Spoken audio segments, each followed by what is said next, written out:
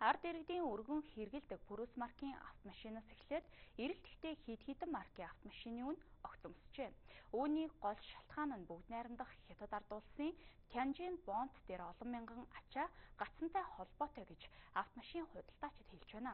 Тухайлбал нэг машины дундаж үн 10-аас 12 сая төгрөгөөр өссөн байгааг манай сэтгүүл сурвалжллаа. Импортын автомашины үнийн өсөлтийг дагаад хуучин машины үнж нэмэгдэжээ.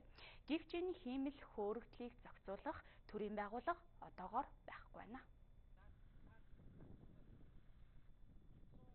За жишээ нь миний хажууд байгаа энэ машин Toyota Sai гэдэг машин. За иргэд хамгийн их одоо худалдаа авдаг энэ өргөн хэрэглээнд их байдаг машин. За энэ машин бол одоо үнэн нэмэгдэхээс өмнө зах зээлийн үнэ Япон улсаас орж ирээд яг техникийн зах дээр байдаг үнэ нь бол нэг 21 сая 500 мянгаас 22 сая төгрөгийн үнэтэй байсан. За харин одоо энэ тээврийн зардал бусад одоо шалтгаанууд нэмэгдснээр 28 сая төгрөгийн үнэтэй болсон байна. За тухайлбал өнгөрсөн 2020 онд импортоор орж ирсэн Purus автомашин 13-аас 14.5 сая төгрөг байсан бол одоо 16-аас 19 сая. Purus 30 автомашин 16-аас 20 сая төгрөгийн үнэтэй байсан бол 24-өөс 26 сая. За харьяар автомашин өнгөрсөн жил 35-аас 38 сая төгрөгийн үнэтэй байсан бол 47-оос 49 сая төгрөг болон нэмэгджээ. За мөн эмэгтэйчүүдийн хамгийн их ундаг Aqua автомашин 10-аас 12.5 сая төгрөг байсан бол 14.5-аас 16 сая төгрөг болсон байна. За мөн иргэдийн хамгийн ихээр худалдаа авдаг Toyota Crown машин өнгөрсөн жил 27-аас 29 сая төгрөг байсан бол энэ жил 32-оос 33 сая төгрөг болж үнэ нь нэмэгджээ.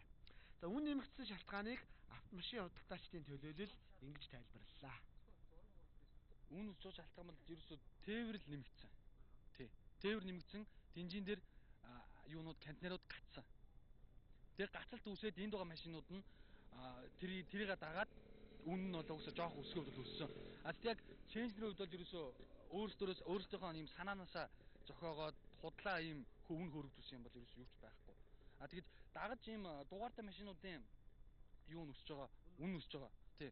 Энэ үн өсөж байгаа ерөөсөө ямар ч тийм тээвэртэй ямар ч хамаа байхгүй. Энэ машинууд бүгд өмнөх үнээрээ орж ирсэн. Тэгэд энэ бол ерөөсөө юун дээрээс гар дээрээс авж байгаа тийм хүмүүс бол угсаал үнийг нь бол угсаа хөөргсөн байгаа. Одоо дахиад 7 оноос хойш машинуудын татвар дахиад нэмэгдэнэ гэсэн тийм тий дахиад үнэтэй болно. Тэгээд 7 оноос хойш үйлдвэрлэсэн машин одоо Purus 20-с өөр баг байхгүй. Purus 30 одоо бүгд л он залуу болно. Тэгэхээр бүх машин үнэснэ. За тухайлбал Япон улсаас автомашин оруулж ирэхэд нэг контейнер 3000 гаруй доллар буюу Монгол мөнгөөр 9 сая гаруй төгрөг байжээ. За гэтэл одоо нэг контейнер 5700 орчим доллар буюу 16 сая орчим төгрөг болж өссөн байна. За үнийн ийм нэмэгдэл гарсныг төр зохицуулах ёстой гэж ард иргэд үзэж байгаа. За бид энэ талаар шударга өсөлтөд хэрэгжийн төлөө газраас тодруулахад дараах тайлбарыг өгч байна. Шударга өсөлтөд хэрэгжийн төлөө газар өсөлтөөний тухай хууль, хэрэглэгч эрхийг хамгаалах тухай хууль болон бусад хуулиуд дээр хяналт тавьж байгаа. За эдгээр хуулиуд дээр хяналт тавихад бол аль ч хуулийн заалтан дээр үнийн хөөрөгдөлтөд хамааралтай асуудал байхгүй. Тэгэхээр одоо барилгын энэ орон сууцны үн өсөд байгаа, автомашины үн өсөд байгаа асуудал дээр шударга үлстэй хэрэгжиж байгаа газар магадгүй хуульд ч нэмэгдэж болно шүү дээ. Хөөрөгдөж юм уу хөөсрүүлж. Тэр энэ дээр шударга үлстэй хэрэгжиж байгаа газар хуулиараа оролцох ямар ч боломжгүй байна гэдэг тайлбарыг хэлж ийн гэж ойлголоо зөв. Зөв зөв.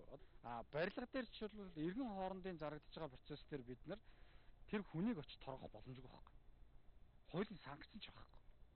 Тэгэхээр энэ чинь өөрөө ямар ч боломжгүй ажил гэсэн үг.